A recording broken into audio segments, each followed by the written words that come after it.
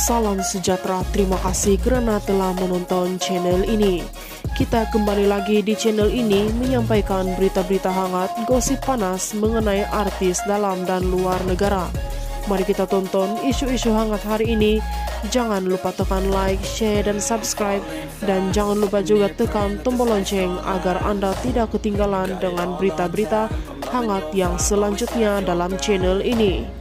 Sebelum ini, selebriti terkenal Nelofa ada meluahkan hasrat untuk bertemu dengan pelakon Nur Fazura bagi tujuan meletakkan titik nokta persengketaan antara mereka berdua sebelum ini.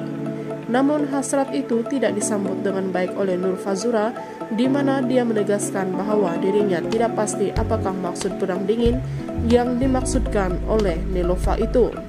Lova dan Fazura nak berbaik katanya, kita doakan yang terbaik saja. Ia kemudian menjadi tular di media sosial dan telah menimbulkan berbagai respon dalam kalangan netizen, terutamanya peminat dua selebriti itu.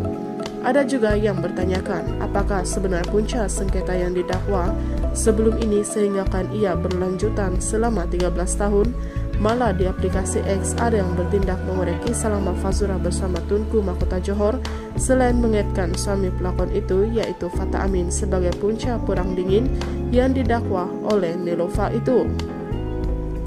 Meskipun begitu ramai yang menyambut baik niat Nelofa untuk berbaik dan Fazura selain menyifatkan sikap taksub peminat yang gemar melaga-lagakan kedua selebriti ini sebagai punca utama mereka, permasalahan yang terjadi. Itu saja info hari ini. Sekian dan terima kasih.